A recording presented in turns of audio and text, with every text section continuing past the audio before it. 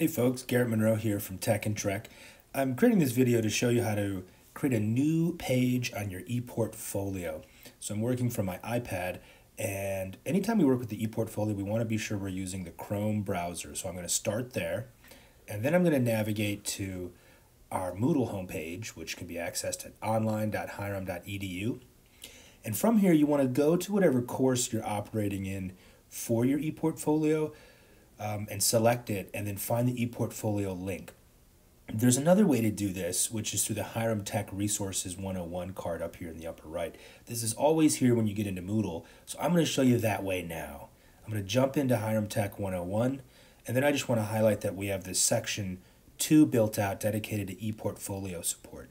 So I'm going to go down there to ePortfolios. There's a bunch of video walkthroughs here is already already set up uh, and some other documentation. There's also a link here for you to access your ePortfolio at any time, even if you're not in a course that's using the ePortfolio. So I'm going to select that now. Now I'm going to go ahead and find my ePortfolio. So I'm going to go ahead and select Show All My ePortfolios, this little blue button. And here I can see all the ePortfolios I've built. Now you may have multiple ePortfolios if you've created a, a one a special one for a course, but generally you'll be working from your your core, your connections e-portfolio, your four-year e-portfolio. So I'm going to go ahead and select this one as a demo. So now I'm in my e-portfolio, and what I want to do is edit this section, this header section, which includes our web page menu.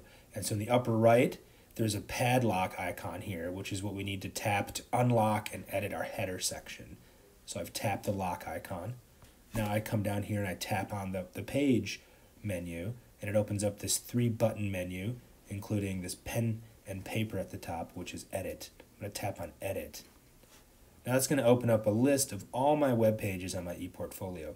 From here I can delete them, adjust settings, I can create new ones, and I can turn them into subpages.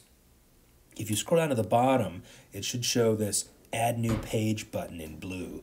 So if you type if you select add new page, it opens up a blank space to type and you can begin typing out the title of your new page.